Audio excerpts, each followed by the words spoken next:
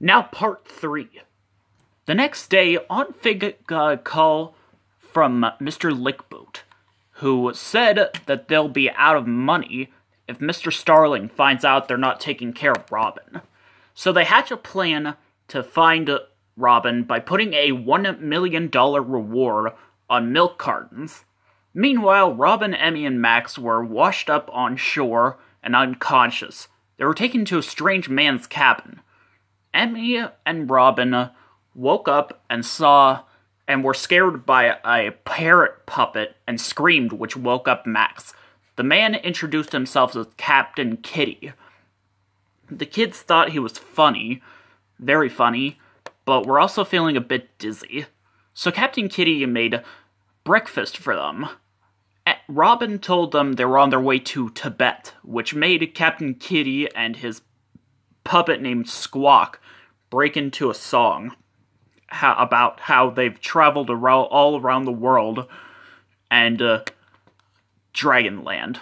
However, after the song, Captain Kiddie and Squawk noticed the $1 million reward from Aunt Figg on the milk carton. They were they freaked out in excitement as when they read it. Meanwhile, Enrique fell down a waterfall. He was a familiar waterfall. He was near the school in the sky. He went there to go get help from Ord, Cassie, Zak, and Wheezie, who are volunteering for Quetzal like they do every weekend. Enrique hopped onto Zack and Wheezie back, and they uh, flew off to go find Robin, while Quetzal went to tell Robin's father. Meanwhile, uh, Enrique's parents were on their way to pick him up and tell him exciting news. Daddy Starling uh, heard about Robin and went in his helicopter to Robin's favorite place while Quetzal followed him. Meanwhile, Tom and Jerry were woken up rudely by a piranha fish. They found Robin's locket, Emmy's hairband, and Max's Mondo Mouse action figure, and knew they were nearby. Meanwhile, Captain Kitty called on Figg about the reward. Dr. Applecheeks overheard the conversation, rode off in his truck, but was soon kicked out by his henchmen, but pushed the ice cream man off of his ice cream cart and rode off slowly. But Mr. Lickboot came over, and they and Ferdinand, who was still a little sick, rode off really fast. As Tom and Jerry continued their journey, they found a milk carton with Robin a picture on it. Could she be nearby? They climbed up a tree and saw a carnival on the other side of a bush with a really tall Ferris wheel. At the same time, the dragons saw the same Ferris wheel, and Wheezie was so excited. But Enrique noticed three kids. They were Emmy, Robin, and Max. They were let onto the Ferris wheel, but held captive on it because of Aunt Figg's reward. Robin was sad and scared because of how high they were. But after a few minutes, a balloon with Robin's locket flew up to her. Max's Mondo Mouse toy fell on him, and someone handed Emmy her hairband. They were filled with joy because all their friends were there. Emmy and Max hopped onto Ord and Cassie's backs, and Jerry made the Ferris wheel move and got Robin off. But just then, the bad guys arrived, and Robin, Tom, and Jerry hopped onto a boat and rode off, while the other kids flew on the dragons' backs. The dog catchers got stuck on a Ferris wheel, Captain Kiddie got lost at sea, Dr. Applecheeks drowned, but no one saw Aunt Figg, Mr. Lickboot, or Ferdinand. The dragons were only paying attention to uh, uh, Robin, Tom, and Jerry. They soon arrived at Robin's cabin, a special place where Robin and her father would go a lot. The gang got off the boat and the dragons landed on the ground as the kids went inside. But Enrique wasn't so sure about it because he saw a suspicious car parked near the cabin. The other kids went inside hoping to find Robin's father, but they found something horrible.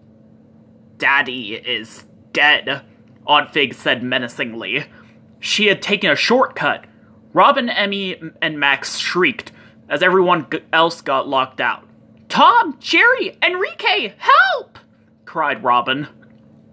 Everyone watched the kids from outside. The bad guys grabbed the kids, but Robin kicked Lickboot in the shin, which made him knock over a lantern that set the whole cabin on fire. The kids screamed and ran upstairs. Lickboot called them down, but Robin didn't want to. So they got out at, onto the boat and rode off. They were later caught by the police and thrown in jail in the real world. So were the other bad guys. The kids climbed on a rope and were pulled out.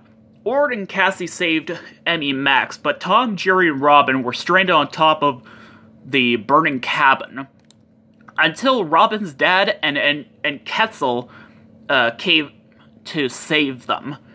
Well, Mr. Starling saved uh, uh, Robin. Quetzal tried to save Tom and Jerry, but it was too late. The fire got too big, and the cabin fell apart.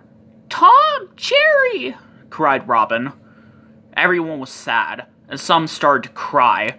But just then, Tom and Jerry came out of the water. Oh, Jerry, please be okay, Tom said. I promise I'll never harm you again. I'm right here, Tom, said Jerry. Robin ran to hug Tom and Jerry. Robin, said Mr. Starling, I promise I'll never leave you again.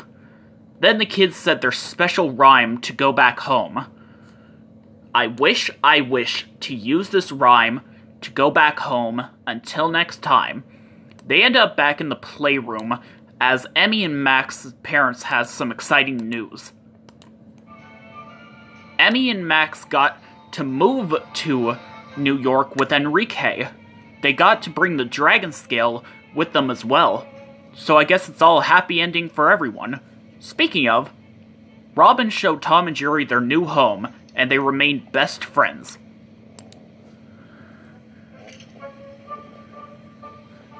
They remained best friends, huh? It was a good song.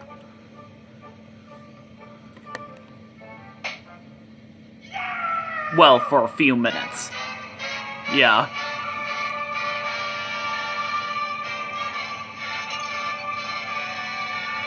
Be like us and start a trend. We're friends to the end. Uh, all in how much we give. That's it for now. See you guys later.